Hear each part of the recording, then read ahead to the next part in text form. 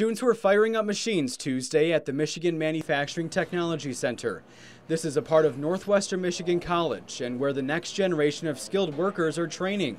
The problem, though, is attracting students to manufacturing and keeping the high-tech training equipment up to date. Cost of equipment is very expensive, so that's where we now really need to partner with the manufacturers to help get gain their support.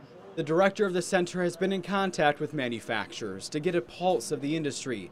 The need for skilled workers is calling for new and reinvented programs. The comment that they made last time we were out there was they would put on a second shift, but they, they wouldn't know where to find the workforce to do it.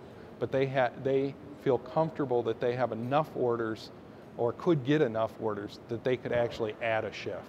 According to Northwest Michigan Works, there were 415 manufacturing job postings in 2011, 629 in 2012, and 809 in 2013.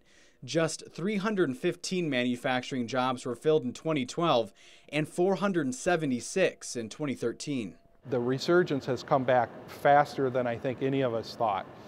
So that's really put us educators in a position of having to scramble and figure out, okay, how are we going to redesign what we do so it meets that need um, and, and we can respond quickly. In Grand Traverse County, Brendan Kinney, 7 and 4 News.